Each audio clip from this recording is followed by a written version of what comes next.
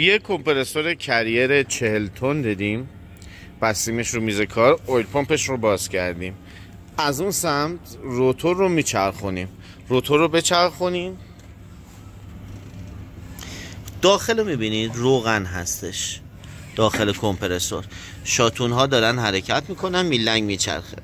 ببینید سطح روغن کمپرسور الان تا اینجا هست. پایین سایت گلس اگر فرض کنیم ما تا اینجا شارژ بکنیم چی میشه؟ روغن زیاد شارژ بکنیم. لنگ میکوبه تو روغن.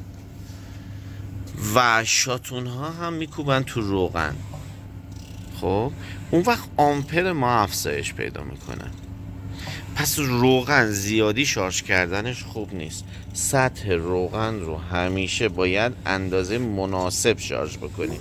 زیاد شارژ کردن روغن اصلا کار خوبی نیست.